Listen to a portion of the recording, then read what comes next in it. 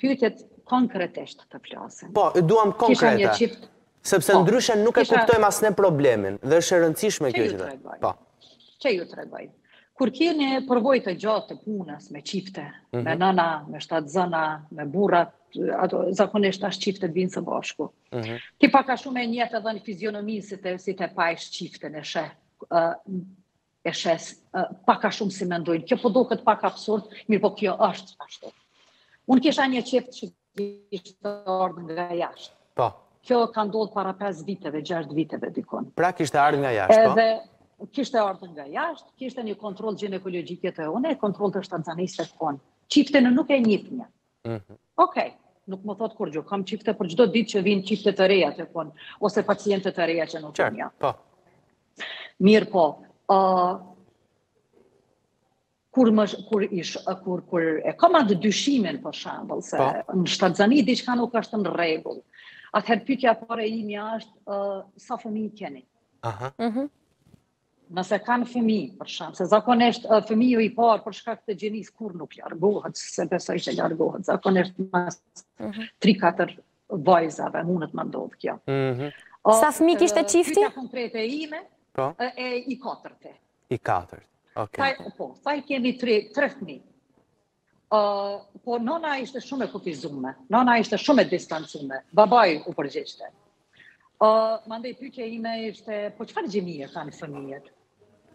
Kjo, uh, gruja ishte dikun n'javën e njëmdhetë të shtatzanisë, mm -hmm. dymdhetë. Mm -hmm. Uh, nona prap nuk flet, gruja prap nuk foli, foli babai, tha i kemi të përzi. Tha dhe tash jemi ardhë ekstra, nga jashtë, për me pa gjininë, për arsye se atje s'po na tregojnë. A, qartë, pra mm. ju e keni kuptuar po. sepse nuk ja kishin treguar, ata kishin ardhur te ju, sepse s'ja kishin treguar gjininë jashtë, mjeku jashtë nuk ja kishte... Ashtu më tha. Okej. Mhm. Ashtu më tha. Po, dhe më pas... Kjo lind dyshime dikun. Mhm. Së pari, ë së pari fizionomia e nënës ose mimikat e nënës ose mos uh, mos uh, pjesëmarrja në bisedë e nënës. Ëh. Mm -hmm. mm -hmm. uh, më jep dyshim në uh, në në një. Uh, burri përgjigjet vazhdimisht mhm. dy. Ëh. Mm -hmm. uh, fëmijët e përziem. Gjininë para para javës uh, 14 dojnë patjetër ta ditë, atëherë unë ju thashë, Tash po më vjen shumë keq, mirëpo unë gjininë nuk e caktoj në këtë javë të shtatzanisë. Mhm. Më kujtohet fort mirë që nuk kanë nuk kanë pranu mandej të bëjnë vizitë fare. Jan janë çu kanë dalë edhe në një farë mënyre uh, mm -hmm. bashkëshorti ka qenë pak agresiv ndaj. Ndaj jush. Verbal, verbal agresiv. Pse si çfarë po çfarë tha, si ishte reagimi? Ëh, pse unë nuk e kryj këtë shërbim?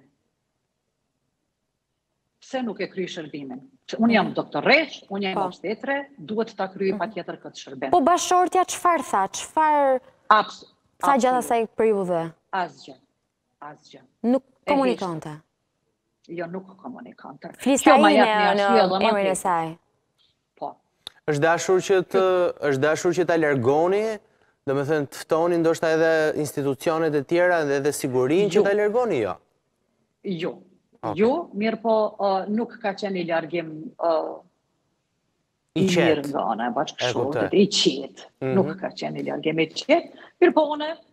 Pas largimit të tyre e kam ndi veten shumë ma mirë. Mhm. Po, personalisht më vjen mhm. keq për për çift, për nënën për shembull që s'kam mujt ma shumë me ndihmu diçka, mirëpo mhm. me një bashkëshort të tillë Edhe ju thatë që çifti vinte nga jashtë, pra jetonte jashtë vendit, jashtë Kosovës. Jetonte jashtë mm. vendit, edhe nuk e di a ka qenë çifti nga Kosova, a ka qenë çifti nga Shqipria, a ka qenë nga Maqedonia, pytje ma tepër unë nuk kom parashtru, kanë qenë kanë qenë shqipfolës, kanë qenë shqiptarë, nuk e di prej çfarë rajonit kanë ardh ose prej çfarë vendit kanë ardh. Ky ka qenë rasti i vetëm.